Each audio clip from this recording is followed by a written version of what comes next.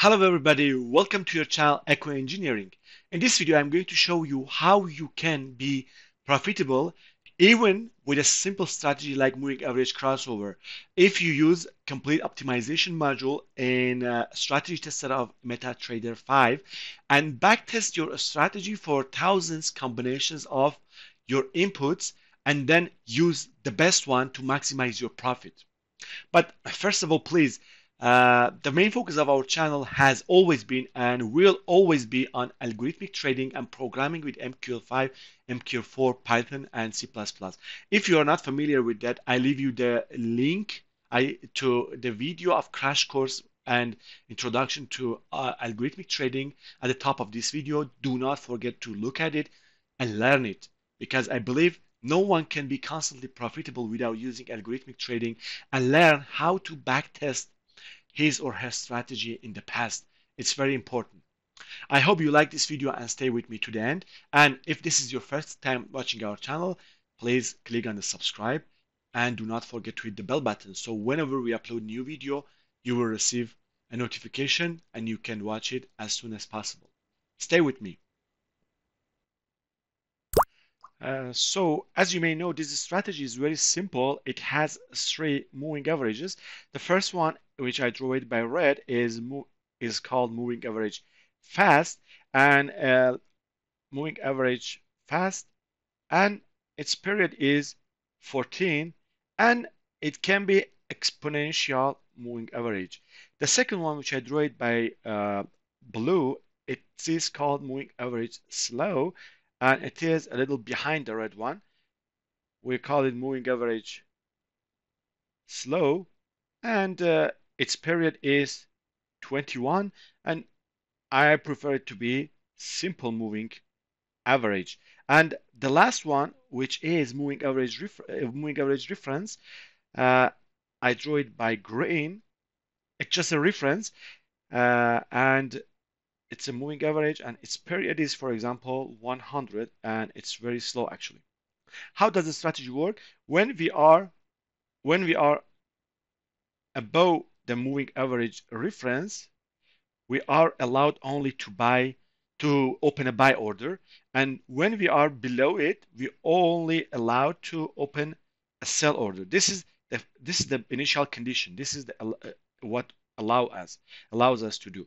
But when we are above the moving average reference, then and the moving average fast, the red one, cross the moving average uh, slow, which is the blue one. Here in this point, we open a buy order, open buy, and when we cross uh, cross back again, and the red one cross the moving average slow to the downside, we close the open order. Close it. We close it. This is how we can do it. And vice versa when we are uh, here we are in the sell area which would be below the moving average reference when the red one cross the blue one to downside we open a sell order and when it crosses back to the above side then we close the order. This is how the strategy works but as you may notice again why we want to use 21 here for the moving average slow or why we are using moving average 14 why we are not using moving average 15 or why as a reference we are using moving average 100 they are all important questions and we are using optimization uh, complete optimization module to find out the best combinations of this variable the best maybe moving if moving average uh, slow is 15 and moving average fast is 4 we would have better uh, performance so we check all of them together. Uh, here, if I open in the tool, I open MetaQuote language editor. This is the code that we have here. In the next video, I will explain it completely to you, but now we only backtest it with this uh, complete optimization. Uh, if you don't have this uh, strategy tester, you can just see it from view by clicking on a strategy tester. Now we click on complete optimization module of this strategy tester. And here we choose uh, the expert advisor that we want. Here it is moving average strategy, which I give you uh, the link and the code in the next video. and uh, euro I want to test it on euro USD in the one hour time frame although this time frame is not uh, the time frame that the calculation is based on but it is changing I will show you. Uh, the date is uh, between these two dates and the initial value is 100,000 and I want to maximize my balance by using this optimization. Then I go to the input section. In the input section I can choose uh, which of these variables I want to check their combinations uh, I want to check all of them actually and I start with the moving average uh, fast period. I want moving average fast period be from 4 and uh, to 21 by the step of 5. What does it mean? It check it for uh, it check the whole strategy for moving average 4, then it check it for 9 because it plus it by 5, uh, added by 5, and then check it by 14 and until 21. It would be four different steps for only this moving average fast period. For moving average slow period, I want to start from 21 and again the steps I prefer to be 5 and and uh, then I wanted to continue it to for example 41 it would be 5 steps. I don't want this backtest take a lot of my time. That's why I choose the big interval so uh, the steps would decrease but you can increase it increase them by just uh, just decrease these steps. And for moving average reference, the period I want to start from 40 to 100, and the step I prefer I prefer to be, for example, uh, anything like, for example, nine. it would be seven uh, steps. Then the time frame, I think, from 30 minutes to one week, it's good. It would be the 1,400 combinations we try to check them all. If I press start, it tries to check all the combinations of this variable for this strategy in the given time period. I press start, then it may take a while, but then I can see the results of the backtest here in the different dots.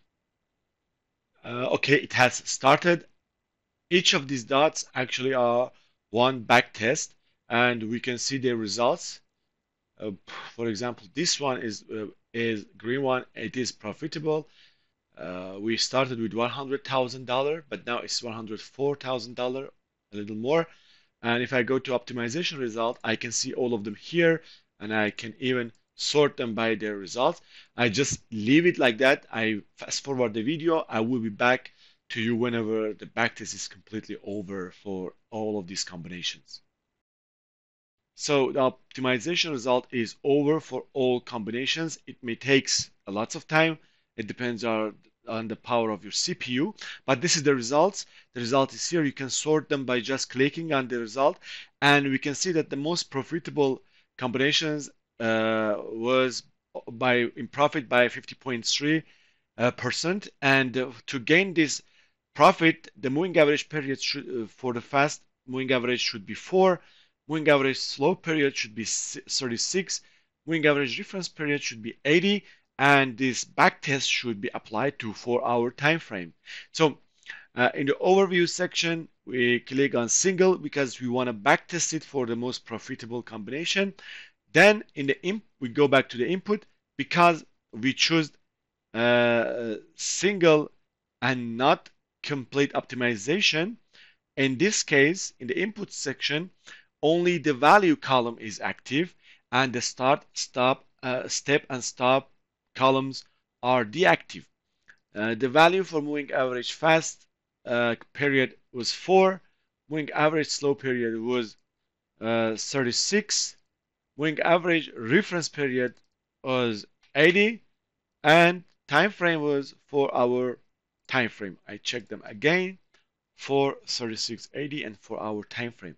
Now, in the settings section, we just active this visual mode to see the backtest and click on the start to see the backtest for the most profitable combination.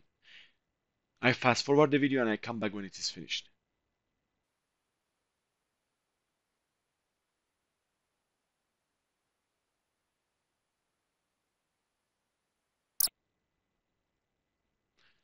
So the backtest is over I go and look at the graph. This is the graph how the uh, balance is changing. As you can see, the balance is fluctuating a lot. It means the Sharpe ratio uh, decreases and we are deviating a lot from our uh, mean profit. It's not suitable for us. We wanna be as close as to the mean profit. If you're not uh, familiar with Sharpe ratio and standard deviation, I highly suggest and recommend you to search about it and learn it. Uh, and in the, as you can see here, the drawdown is a lot. As if when the drawdown increases, actually the Sharpe ratio decreases, and it's not uh, suitable. We don't want uh, the low Sharpe ratio because it means we are deviating from uh, we the, the, the the strategy is not very reliable. Uh, and we can see the result of the backtest here too. Uh, I hope you enjoyed this video. Please do not forget to watch the programming video too, because it's very important. The main focus, as I mentioned, is only always on uh, algorithmic trading and teaching it. Do not forget to hit the like button if you like it because it will help us to be introduced to those other who are interested in these subjects too. Have a good day. Goodbye.